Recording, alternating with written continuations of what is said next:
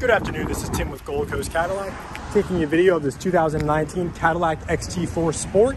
Gonna do a walk around the outside, show you some of the features, take a look at the inside, that'll be it. Starting off here on the front end, you can tell this vehicle is a Sport by the black diamond grille, as well as the full LED headlights that go all the way down the front of the vehicle and wrap around the front of the headlight. Also by the black lower front fascia, the blacked out Galvano accenting around the windows, the black roof rails, as well as the black undercladding.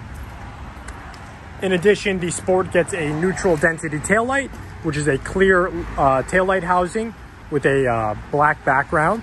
Really gives it a nice sporty and aggressive look, as well as a black rear diffuser. Gonna take a look on the inside.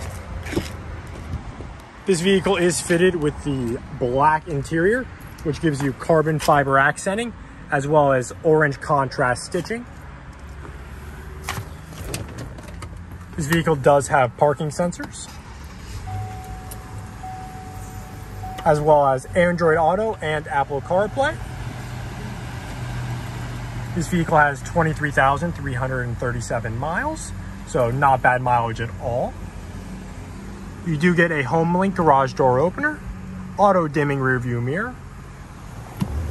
If I shut the door here, you do have power folding mirrors with blind spot assist. Shift it into reverse here. You do get a rear view camera, as well as lines to indicate where you will be parking.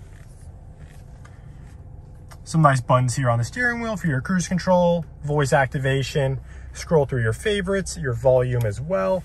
You get a volume knob down here and a joystick to control the uh, infotainment screen if you're not a fan of the fingerprints up here. The third row is a 60-40 split, so you can fold that down to have more room in the trunk. You do get a lot of headroom in this vehicle. I am six foot two and I uh, have plenty of room in the first and second row. If you have any questions, please feel free to reach out.